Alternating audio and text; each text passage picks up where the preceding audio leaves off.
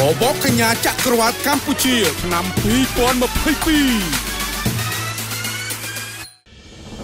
អ្នកណាក្នុងចំណោមបេក្ខនារីដ៏ស្រស់ស្អាតទាំង20រូបដែលអាចនឹងបន្តជាបេក្ខនារីកំពូលទាំង10រូបនៅវគ្គផ្ដាច់ព្រាត់វគ្គសំខាន់សំខាន់ខ្លះខ្លះនឹងត្រូវបានបង្ហាញដូចជាឈុតតំណាងជាតិការបង្ហាញទេពកោសលនិងឈុតរាត្រីសមាសការប្រកួតបាថមនឹងធ្វើឡើងនៅថ្ងៃពុធទី8ខែមិថុនាឆ្នាំ2022វេលាម៉ោង8យប់តទៅនិងផ្សាយផ្ទាល់នៅលើកញ្ចក់ទូរទស្សន៍បាយ័នចូលរួមជាមួយយើងខ្ញុំដើម្បីទទួលបានព័ត៌មានថ្មីៗបន្ថែមទៀតបវរកញ្ញាចក្រវាលកម្ពុជា ឆ្នាំ